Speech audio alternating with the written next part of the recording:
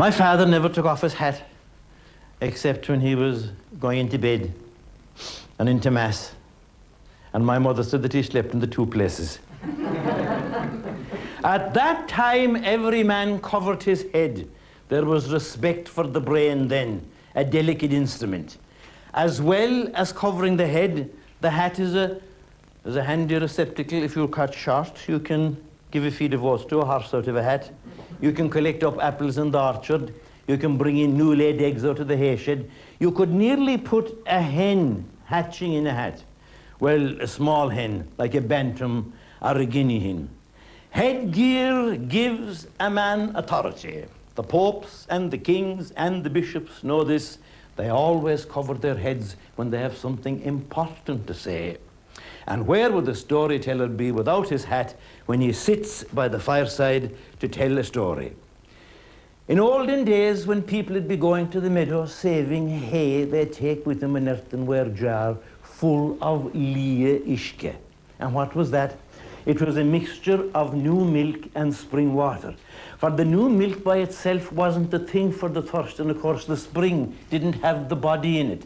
And that earthenware jar, it would be put somewhere away from the heat of the sun, and no word of a lie, but it was a great man for the thirst. At that time, there was this farmer in the middle. A very fine day that came after a lot of rain, and he had a lot of help.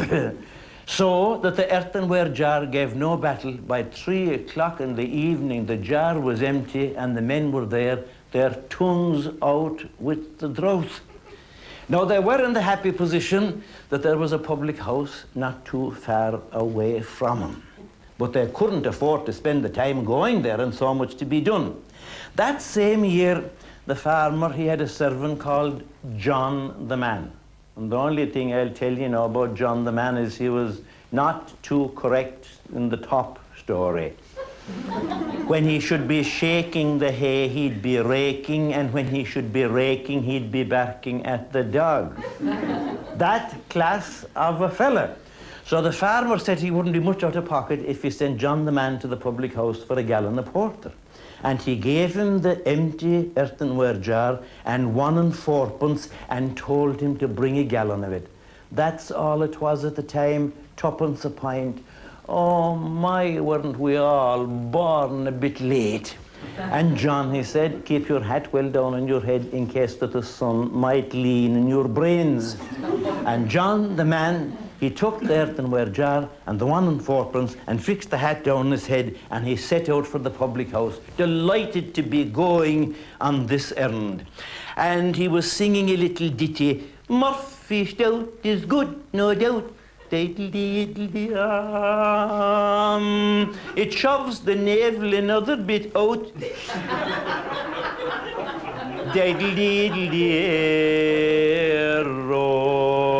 and you see the Amadan, he wasn't watching where he was going, and he hit his toe against something, and he fell out in his face and eyes, made flitters of the jar.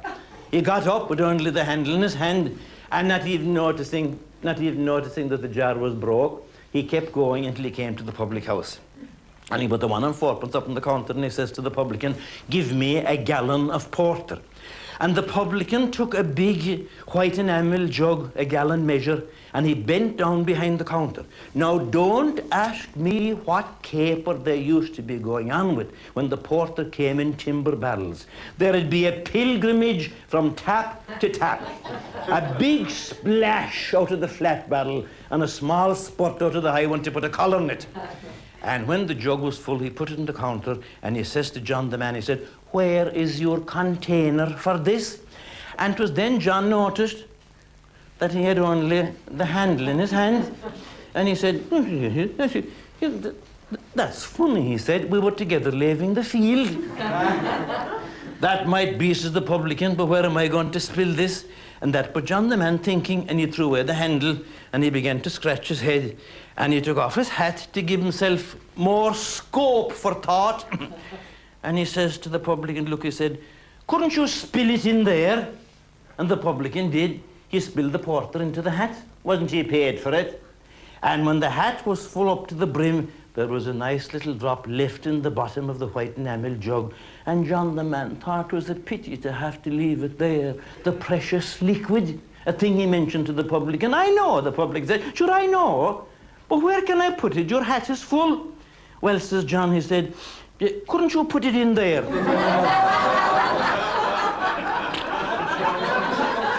so he did. He spilled what was left of the porter into the top of the hat. And John the man then taking the hat, you know, between his two hands, he walked back to the meadow. And when he arrived at the meadow, the farmer and all the men that collected around him, and the farmer, when he saw the small lake of porter on top of the hat, he said, John, he said, is that all the porter you brought? Oh, well, no, says John, you must think I'm a right Amadan. I have the rest of it here.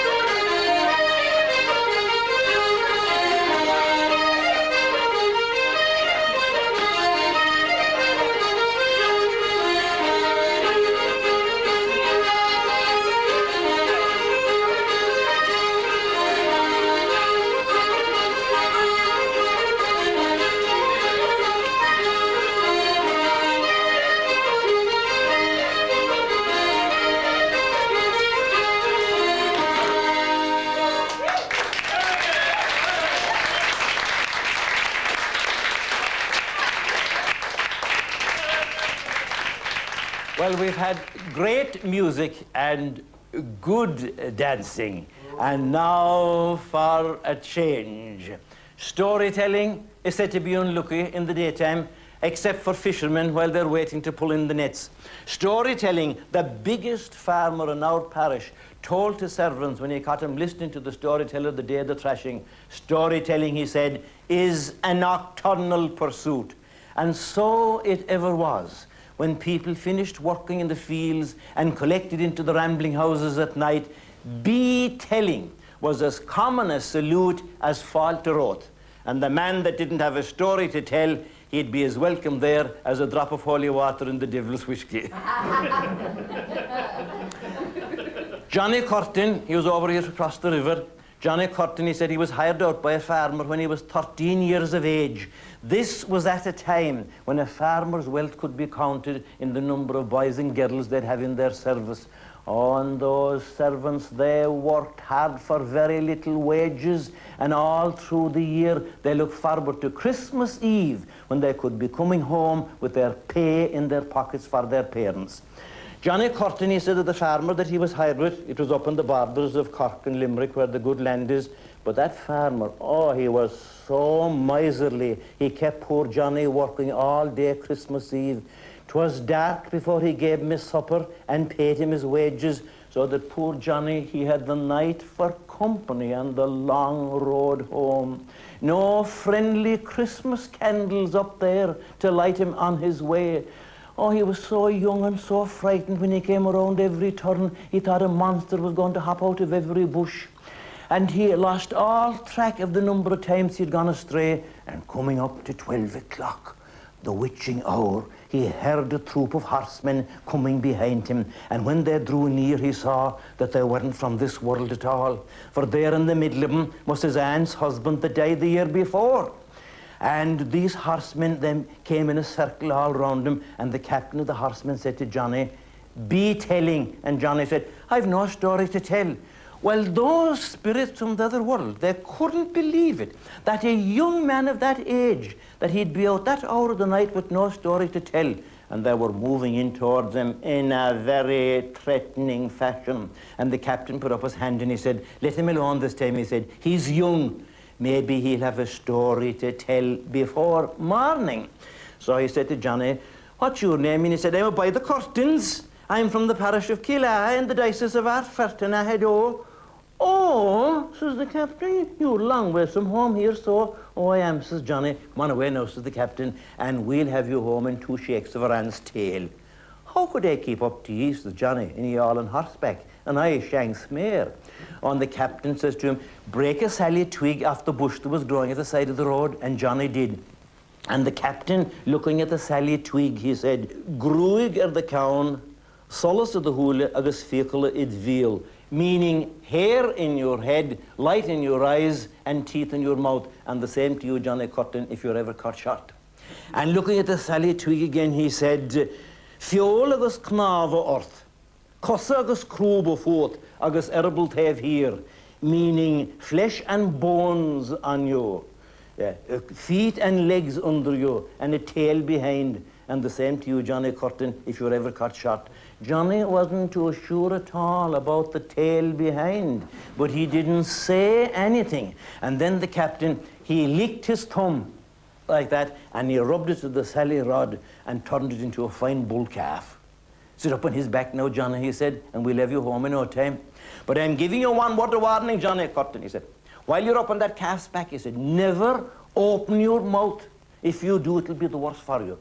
So Johnny sat up on the calf's back, and the little calf put his tail in the air, and off he went after the galloping horses. That was the quilting down through Newmarket and Kanturk, and heather through Quillanee Queeve and over the county bounds and into Rathmore. And they kept down the straight road until they came to Knockan School, and they veered left down through Coracow over to Killaha where Johnny could see the Christmas candle lighting in his own window. Oh, was he delighted. And when the horsemen, when they came to the banks of the river, the river Flesk, there was no bridge there at the time, the horsemen made one bound and jumped over the river and into the field at the other side. And Johnny coming up on the calf's back, you know, he was wondering, like in his own mind, would the little calf, would he be able for the big jump? When the calf came up to the bank, he made one spring and he went sailing across the river and Johnny up on his back. And Johnny, you know, he was so full of admiration for the calf, you know, that he couldn't keep his mouth shut, the fool, eh? And he said, say what you like, that was one hell of a jump for a calf. he looked down, there was nothing under him, either sally twig. And he fell down splash into the river. And when he was crawling out of the other side like a half-drowned cat, the captain of the ferries came over to him and he said, well, Johnny, he said, have you your wages? I have, says Johnny. And tell me, he said, have you anything else? I uh, have, says Johnny, I have a story now. But who in the hell will believe it?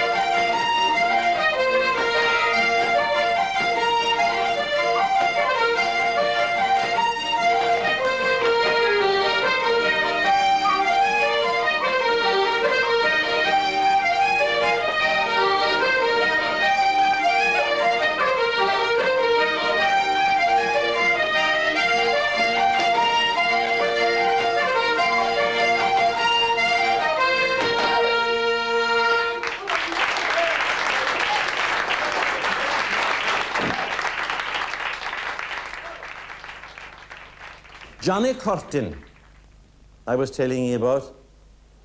Johnny Curtin, he got tired of working for farmers and he went to America. And after about 15 years, he came home on a trip. I remember the night well, his father's house was full. to the wrong Christmas. All the neighbours in for to welcome him.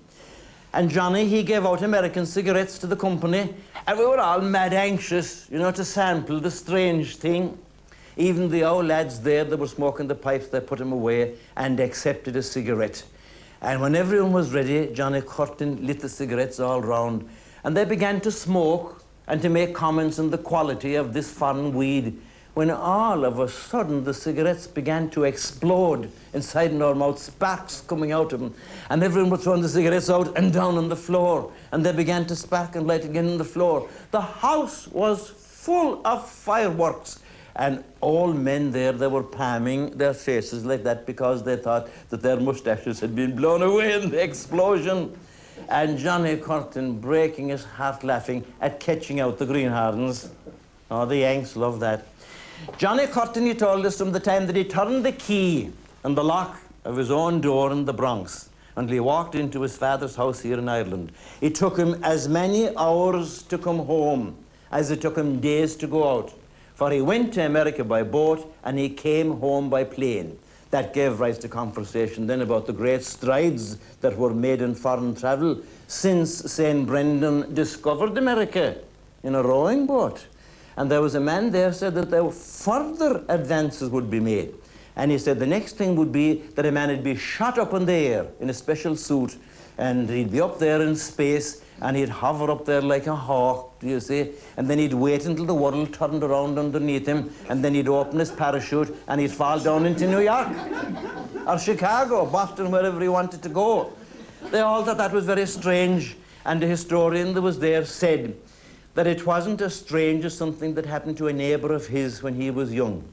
This man set out to fly to America long before the Wright brothers were born or Captain Lindbergh crossed the Atlantic. His name was Timmy Warren, and he was working for his day's hire drawing goods from a railway station for a big shopkeeper. And he had good wages for the time it was. He had a house of his own, a nice wife, and enough to eat. And wouldn't you think he'd be satisfied? He was not for whatever little deficiency was above here in the belfry, he never dreamt in his life. Whether he lay down on his left side or on his right side, on his back or on his bread basket, it was all the same. He got up in the morning the same as he went to bed the night before, no story to tell. Now, that mightn't worry you or me, but it did to me, Warren, for the place where he was working every day. The other men, they used to be telling him at dinner time the grand dreams they had the night before, places they were, the tall buildings, different nationalities dancing in coloured flagstones, and the company where they were, and the wine, and the songs, and the dancing, and everything, until they had the poor man driven demented and he was losing the colour, and he went along to discount. That was the shopkeeper's name. For his motto was, take a pound's worth and I'll throw off a bob. And as prime a bio as you'd meet from here to the town of Kildare. And when Discount heard uh, the tale of woe of Timmy Warren, he began to laugh in his own mind and he said, Yet if every riddle was as easy unravelled as that, life would be heaven. If you want to dream, Timmy Warren, all you have to do when you'll go home tonight is to put out the fire. Bring the bed down out of the room, set up the bed inside in the fireplace, and let yourself and Sheila go to bed there for the night. And if you are dreaming before morning, my name is not Discount. So he came home to the wife, but it took him from there until 10 o'clock to convince the wife to fall in with his plans. And she said, if the subtle fall down on the bedclothes, she said, is it you that'll be dancing in them below on the river? But if I didn't say it before, I'll say it now. There is great credit due to the women of Ireland and the lengths they'll go to to humour a cranky husband.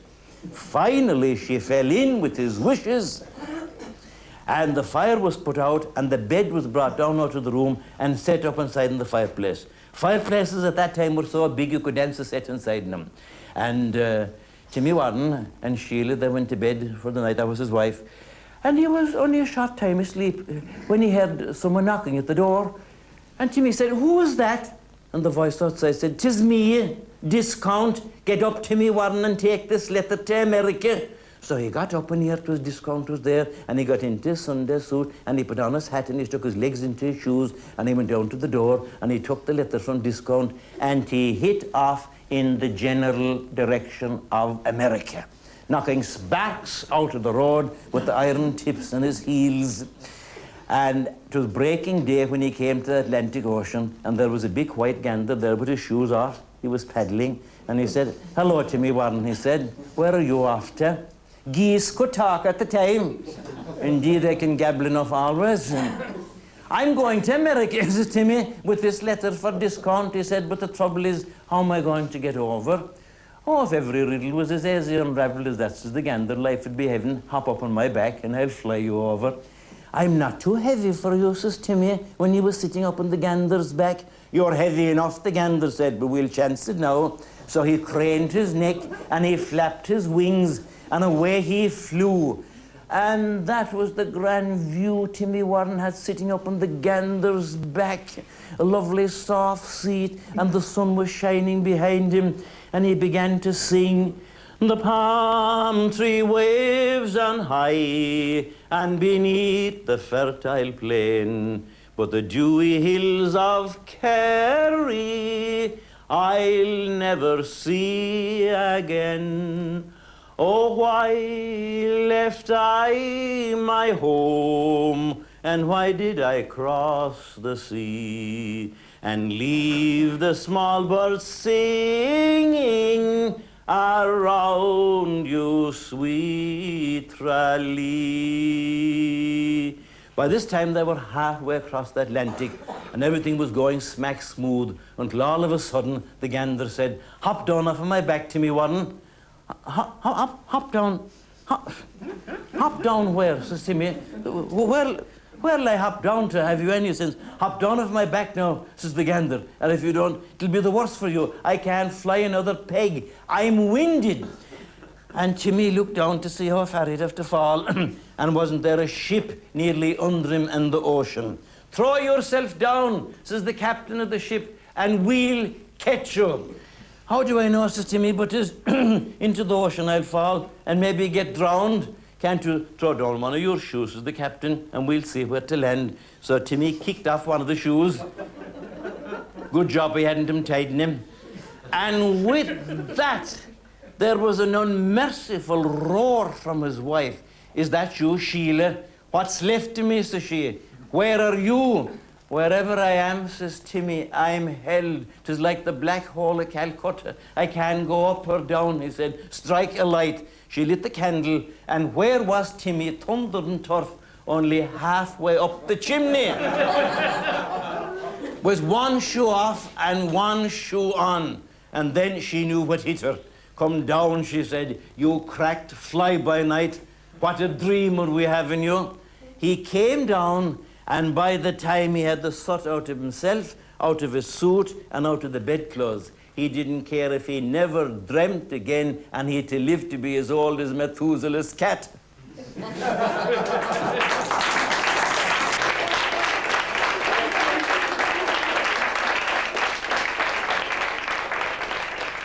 when I was small and learning the geography of the world, there was a saying going that America was a place or state of punishment where some Irish people suffered for a time before they came home and bought a pub.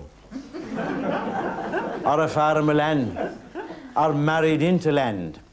Anyone that ever went the road to Killarney could not miss Peg the damsel's new house. It was at the other side of the level crossing, and you couldn't miss that either for any time ever went that way. One gate was open and the other gate was shut.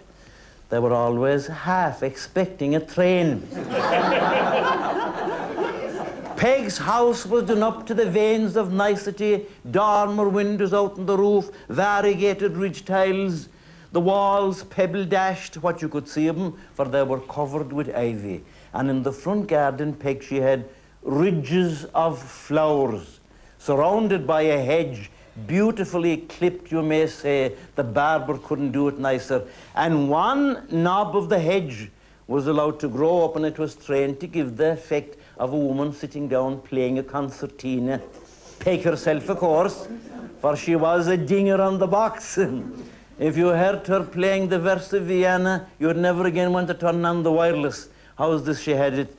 Father Welches, Father Welches, Father Welches, top coat, and he wore it, and he tore it, and he spoiled his top coat. Diddly ding dee dee da, diddly ding dee da da, diddly ding dee da da, diddly ding dee da da.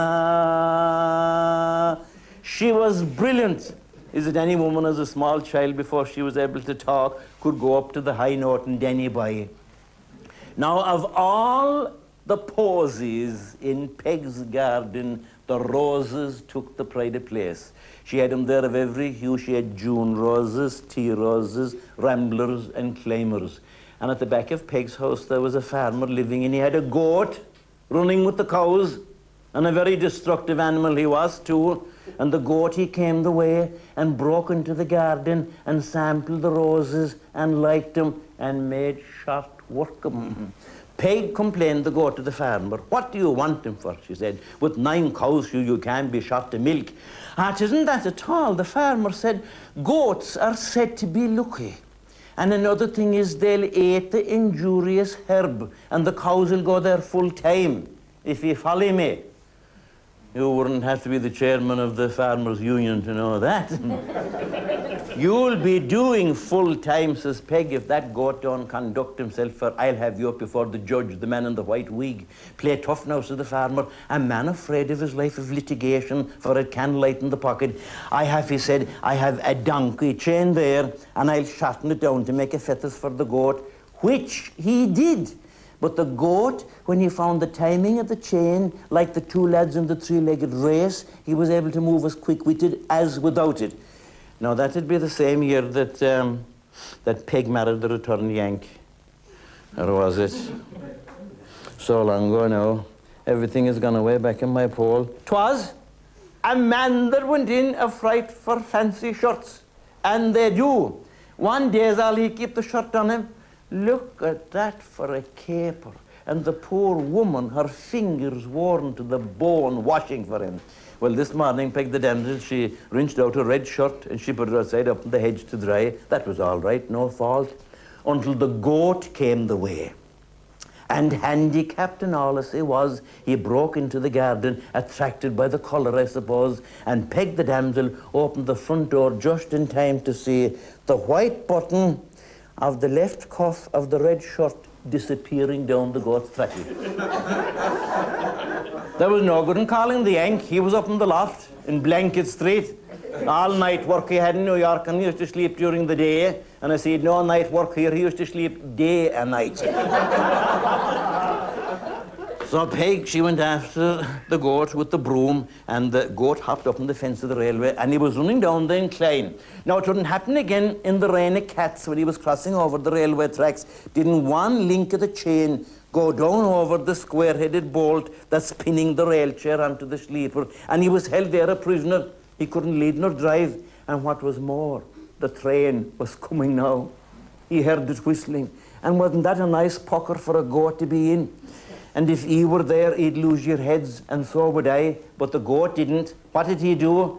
Coughed up the red shirt and flagged down the train.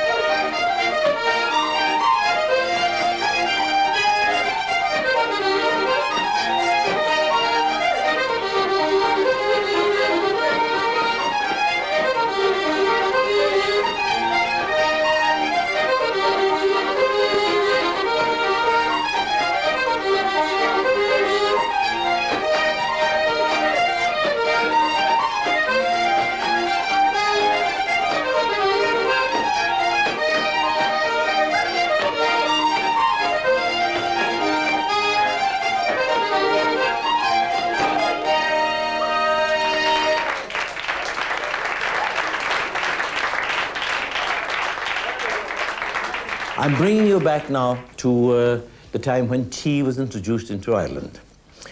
And the Irish people took to drinking tea like ducks to water. Well, it wasn't available in the shops when it came out first. But men used to go around from house to house in a pony and trap selling the tea, and they were called taymen. Now, it so happened that a tayman put up with a husband and wife in a single roomed house in which there was only one bed.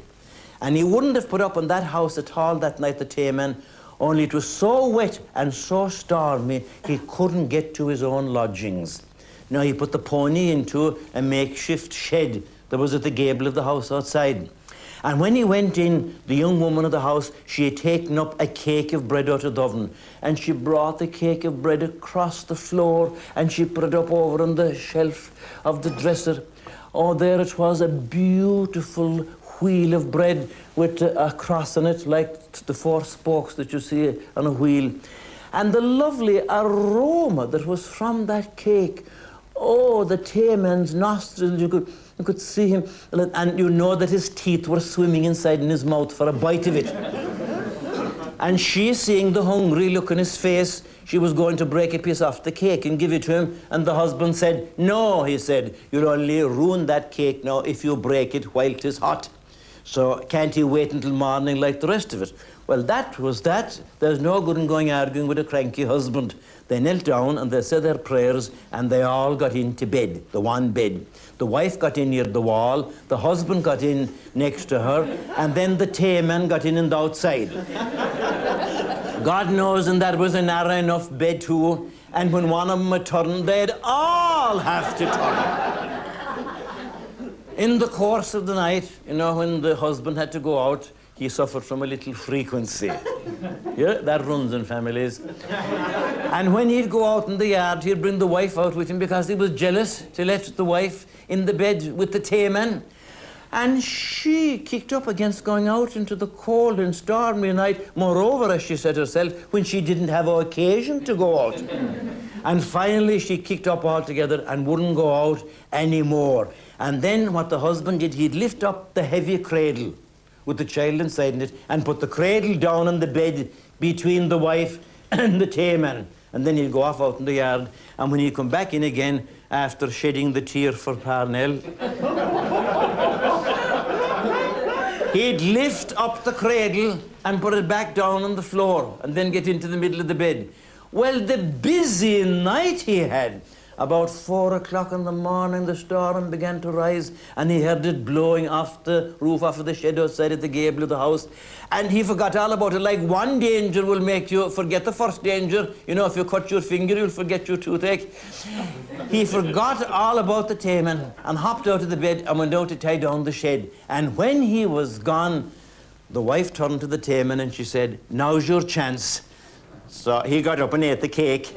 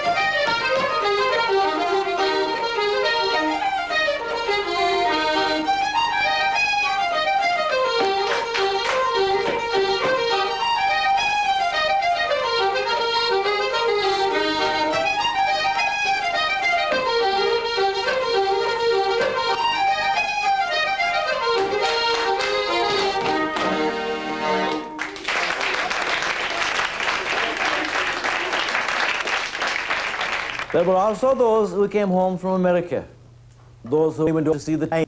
Such man was Mick the Fiddler. Mick said that the climate of New York agree with him. He got a prick in his neck from looking up at the tall buildings. The day before Mick Fiddler out for he helped his brother and his brother's wife, Moll Phil, to set the barley in the field. And Mick the Fiddler was home again in time to come.